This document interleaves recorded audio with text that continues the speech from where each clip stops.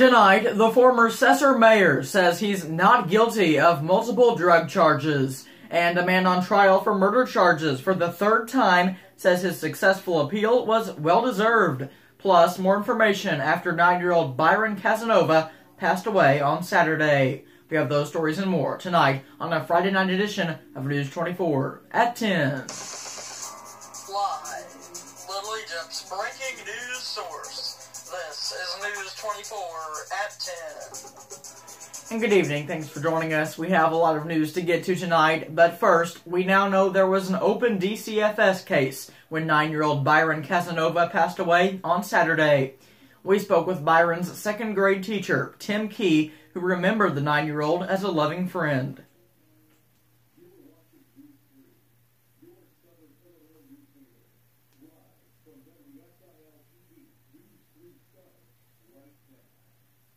But that will never be an option for Byron Casanova. According to the Johnston City Police Department, Byron committed suicide on Saturday, March 23rd. This was just four days after a DCFS caseworker visited the house where Byron lived with his mother and her boyfriend.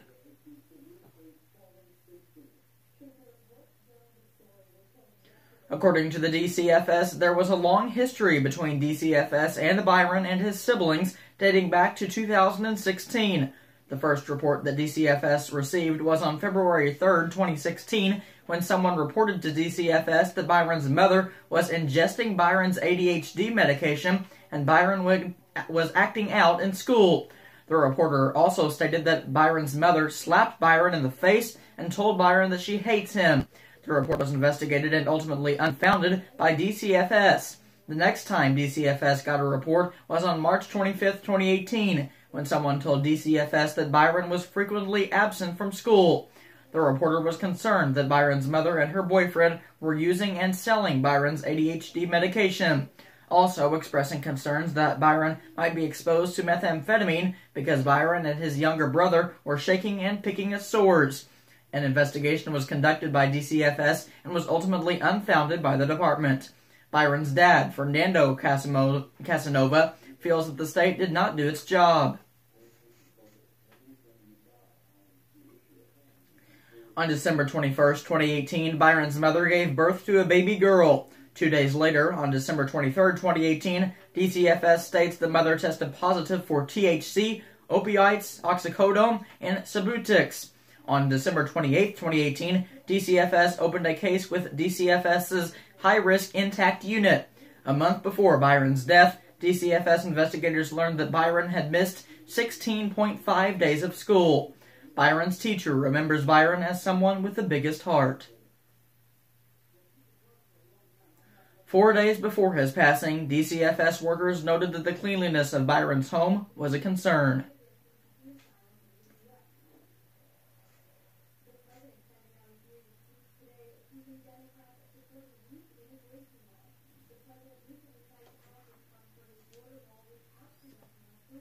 The Johnston City Police and DCFS said there is an active investigation into the death of Byron Casanova.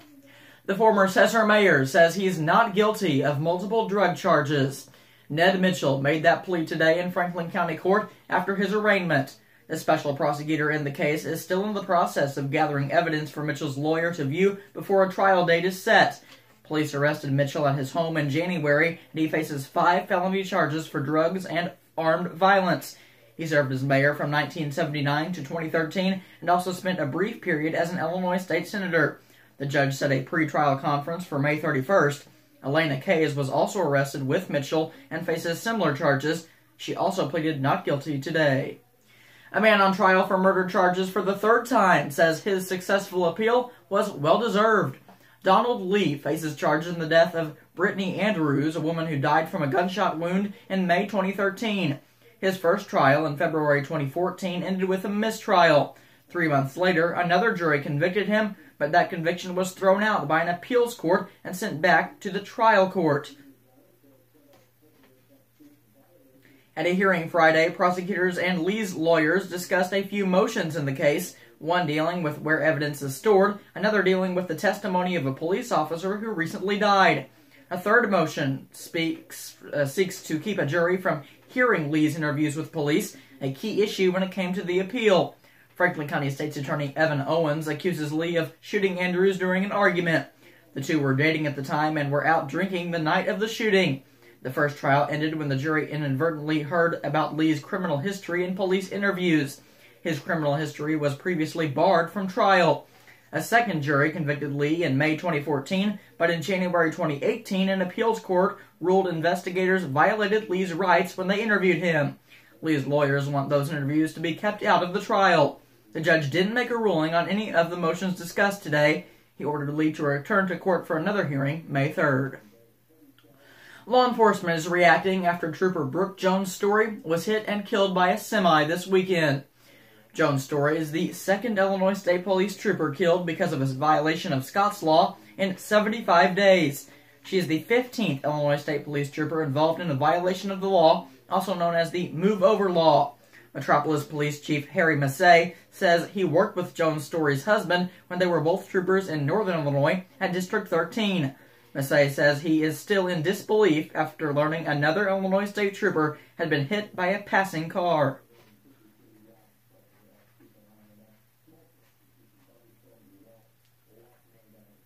Massey was a state trooper for 27 years before making the move to southern Illinois.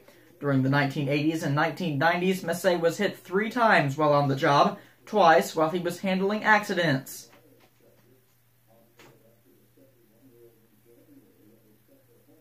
Massey was hurt in all three accidents. Since those accidents, Scott's Law has been created.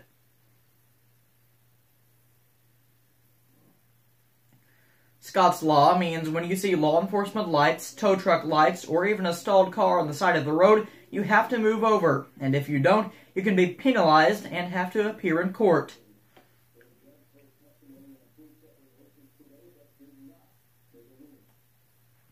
Anna resident Steve Frizzle is the dad of an Illinois state trooper in central Illinois.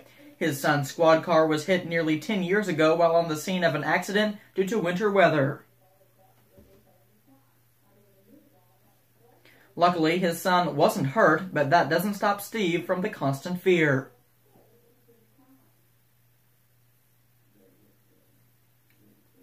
Frizzle and Chief Massey are asking drivers to move over and slow down when you encounter a vehicle on the side of the road.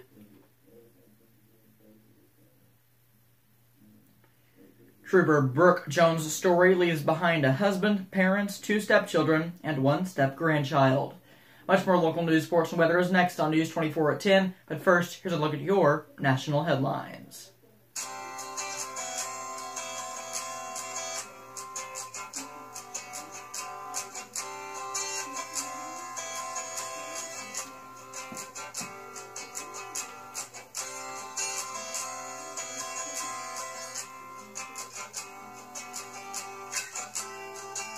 Fox News update. In Fox News. Nothing to hide. I'm Lisa Brady, Fox News. President Trump reacting moments ago to U.S. Attorney General William Barr, who's telling top lawmakers he will release the Mueller report by mid-April, if not sooner. Well, I have great uh, confidence in the Attorney General, and uh, if that's what he'd like to do, uh, I have nothing to hide. This was a hoax. This was a witch hunt. I have absolutely nothing to hide. Several House committees set a deadline of April 2nd, next Tuesday, for the full Mueller report to be released. In his letter, Barr describes a painstaking process along with Deputy Attorney General Rod Rosenstein to decide which parts of the report might have to be redacted by law. But he says there's no plan to allow the White House a privilege review before it's released. There's pushback already from the House Judiciary Committee Chairman, Democrat Jerry Nadler, who says the Tuesday deadline stands and that Barr should work with the committee to request a court order for the release of any grand jury information. President Trump has a new vacancy to fill. The head of the Small Business Administration, Linda McMahon, is stepping down. She has been a superstar. Uh, the uh, the fact is that I've known her for a long time. I knew she was good, but I didn't know she was that good. She's been one of our all-time favorites. McMahon alongside the president at his Florida estate for the announcement. He says she'll be helping with his reelection campaign. Another death just confirmed from those faulty Takata airbags that can explode with too much force. Honda says the death happened in Arizona in June of last year. That's the 24th person known to have been killed by the airbags worldwide. There have been more than 200 injuries as well, and millions of those airbags have been recalled. The end of the quarter on Wall Street and it ends with a high note. The Dow up 211 today to 25,928. This is Fox News. Stop. Six months, six push up, ready? Up, up, down, down, uh uh. That's one. Up. That's two. Down, down.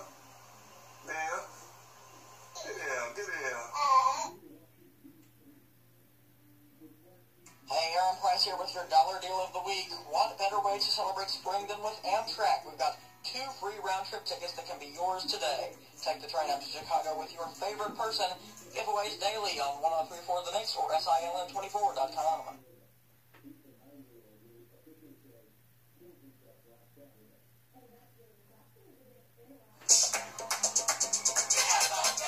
Introducing non-stop spring styles for the family. Get 40% off all dresses, jeans, and tees.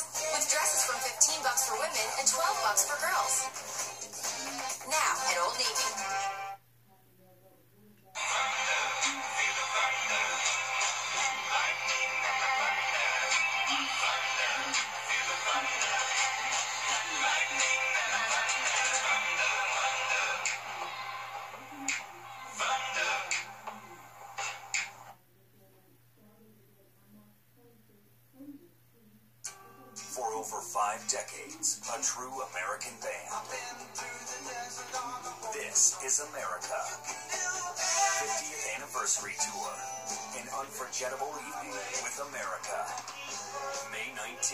7.30 p.m., the Carson Center.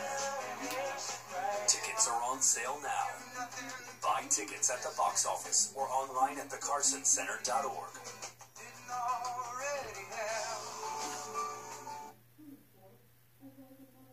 Keep the outdoor allergens at bay. Block harmful UV rays and enhance security with one call to Royal about our new Thermokey windows. Our windows also enhance curb appeal with eye-catching good looks, custom-made windows. And if you call now, take advantage of our spring into savings sale. 60% off installation, affordable finance options, a bonus with purchase, and a $25 restaurant.com gift card with your complimentary in-home estimate from Royal Home Improvement.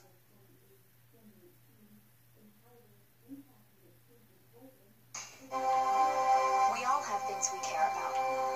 We all have things that matter most. It's what makes life, well, life. At SIH, we've built our lives around yours. That's why we've grown a region-wide healthcare network,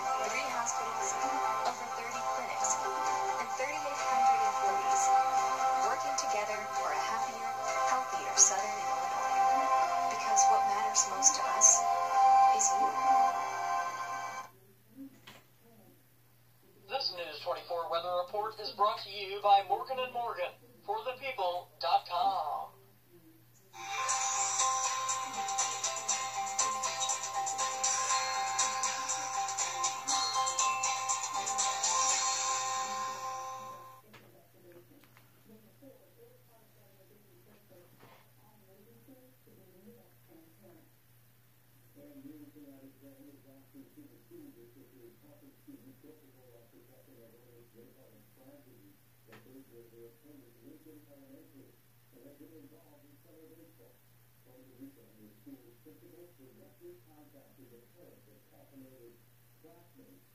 sent an email to Omicron that will cover two steps for essentially top of the form.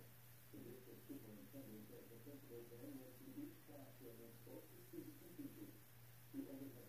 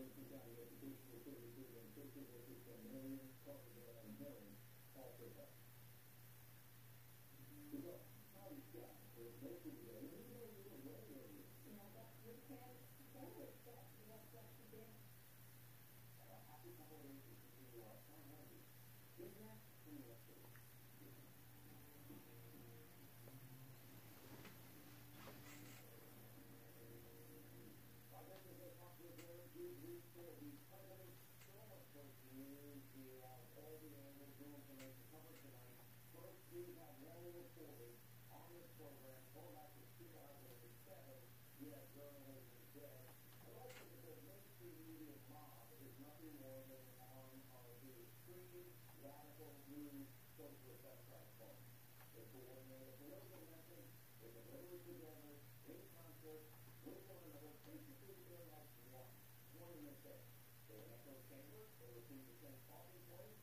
Uh, remember, oh, now we have to apply to the same one. Well, we have that too. Well, if you like to copy the code, we will not have to do it. Dr. Howard, Mr. Twitter, or the David Press, Steve Howard, all right, thanks, Terry. Turning to Norris City tonight, where Air Force Technical Sergeant Joseph Allman surprised his two daughters and several nieces and nephews at Norris City Omaha Elementary School. An assembly on the last day before spring break that was disguised as a celebration of the school's volleyball team and Cardinal pride in general seemed to be the perfect setup for a surprise homecoming. Just before his cue to walk out of the holding room, he mentioned he's, quote, a little nervous now. While he is anxiously waiting to surprise his family, he grabs two bouquets of flowers. Meanwhile, Mom is using her daughter Annabella's birthday as an excuse, getting her two girls up in front of the rest of the school. The girls are there to open Annabella's surprise gift, but then quickly realize there's nothing in the bag. So who planned the big surprise? That credit goes to Allman's wife and retired Air Force Technical Sergeant Sarah Allman. She didn't initially plan it on being a big affair, saying, quote, I had initially planned to surprise them in class. Mrs. Marsh said, how you how would you feel about doing it in the gym? And so they ended up throwing it all together for me. Joseph Allman says it wasn't any easier being away from family duties at home.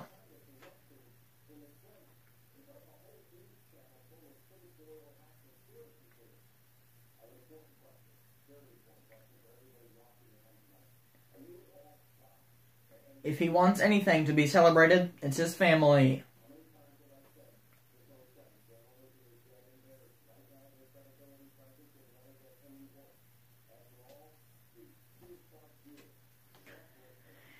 And for our full interview with him, you can visit our website, www.siln24.com. Turning to a News 24 special tonight on a story we first brought you at the top of the broadcast. Nine year old Byron Casanova passed away this week, or excuse me, last weekend after committing suicide on his home, or at his home in the 300 block of 12th Street in Johnston City. Byron attended Lincoln Elementary School in Johnston City, and joining us right now is Shelly Smiley. She is the principal at Lincoln Elementary School and has met, obviously, and talked to uh, Byron Casanova many times. She joins us by phone right now. Shelly, was Byron a good kid?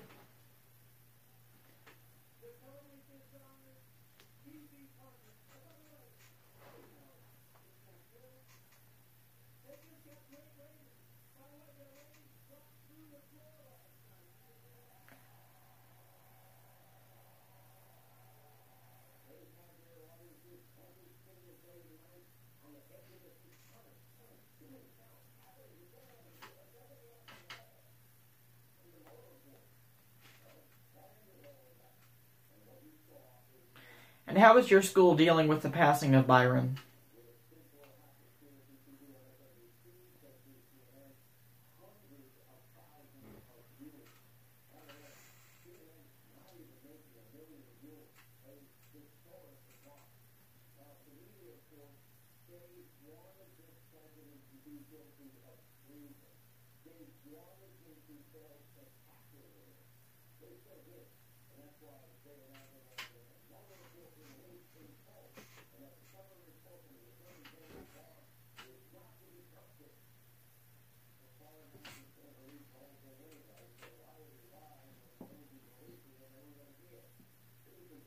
All right, thanks, Shelly, for joining us tonight. We'll go ahead and leave you alone, as I'm sure you're going through this tough time as well.